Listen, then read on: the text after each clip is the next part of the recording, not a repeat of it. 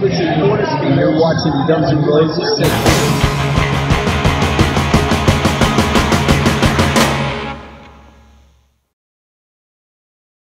Hey everybody, what's going on? And welcome to GNR Central. And we got some rumors hitting the internet uh, the past 24 hours.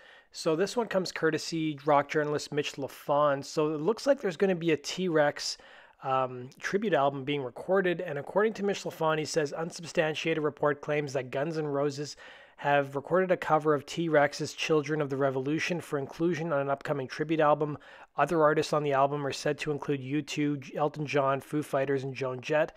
Until released, consider this to be a rumor. Now, keep th- let's keep things in perspective. Mitch LaFon's been right about some stuff. He's been wrong about some stuff. I think he was the guy who reported that Dave Kushner was going to be like the third guitarist in the Guns N' Roses reunion, which turned out to be BS. But he was one of the first guys who reported about the Appetite for Destruction reissue. He also reported the price, which he got wrong. I remember back in the summertime, he said, "Oh yeah, there's going to be an Appetite reissue," but he I think he called it a Welcome to the Jungle reissue, or it was going to be called Welcome to the Jungle.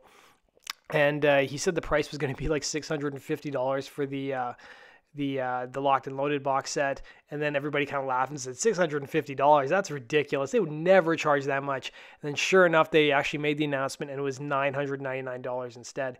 He also knew that they were going to release a lot of different goodies and add-ons and extras as part of the Appetite reissue, which he was right about. So this is the original article that was published about the T Rex tribute album.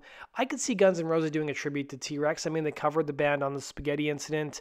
Uh, T Rex has been a huge influence on Guns N' Roses, so it wouldn't really surprise me. But for some reason, I have my doubts that they've actually been in the studio. But let's talk about the original article. So this article is dating all the way back to October 29th of this year. So this is a star-studded tribute album celebrating the music and legacy of glam rock act T-Rex and its frontman Marc Bolan will be released next year. Variety reports. Among those well-known acts who will be contributing to the project include U2, Elton John, and Joan Jett. Now, the original article doesn't doesn't make really any mention of Guns N' Roses. Uh, it doesn't really say which songs will be on the tribute album, and I wonder where the Guns N' Roses rumor came from. But if you guys go to the MyGNR forums, there's a thread that was started uh, about a like a couple days ago, actually by one of the moderators, and uh, he's basically trying to consolidate all of the rumors that are going around. Some people think there's going to be a new studio album coming with an announcement in January. There may be some sort of GNR announcement. I think in January people are saying. I th- some people think it's going to be a live record with some bonus studio tracks. I don't know how any of this is even possible because Slash has been doing press. He's been saying, listen, we haven't talked really about, we haven't really decided to make a new record. It's something we'll revisit. It's something we've talked about, but it doesn't seem like they went into the studio. So the only thing I could think of is maybe it's a live record, which I really think would be a wasted opportunity. I mean, we already have Live Era. Do we really need another live album from Guns, considering a lot of the songs they're playing in their set list are already on the album Live Era? But as we get more information, we'll let you guys know. Um, I, I, a lot of people say there's rumblings going on behind the scenes, and there will be some sort of announcement with Guns N' Roses. The other thing that keep in mind is that um, uh, Slash, excuse me, Slash is going to be on tour uh, basically from 2019, like the beginning of 2019, all the way until probably August, September. So I don't think he's going to have a lot of downtime to be recording and going into the studio. But you know, if, if the rumor is true, I have to say it, it might be a good way for Guns to sort of get those creative juices flowing. I mean, they have worked on arranging songs like they've done with some of the covers they've done, like Wichita Lineman, um, Black Hole Sun.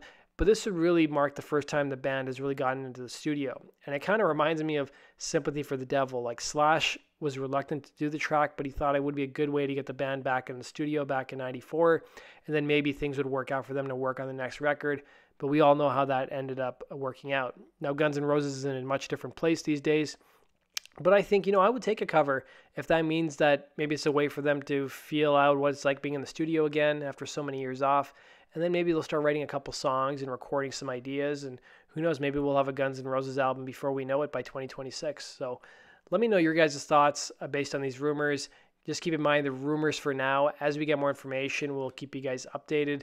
And you guys know where to stay for the latest gnr news. Just come to gnr central or go check us out at gnrcentral.com for all the breaking Guns N' Roses and related news. Thanks for watching, guys, and we'll see you tomorrow with an absolutely fantastic true story episode. Thanks for watching, guys, and have a good one.